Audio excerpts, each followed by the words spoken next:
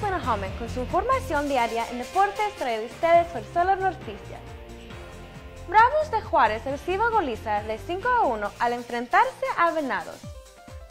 Los Bravos de Ciudad Juárez no solo no pudieron ganar, sino que perdieron con una goleada por parte de los Venados con un marcador final de 5 goles a 1.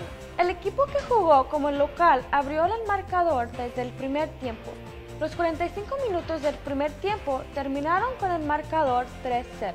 Los Venados siguieron sumando goles hasta llegar al 5 0. Prácticamente el juego lo tenía en su poder. Los Bravos lograron crear la solitaria anotación que les permitió no acabar sin goles, pero de igual manera por muy debajo del marcador. Soy Sonohamed con su información diaria de deportes traído ustedes por Solo Noticias.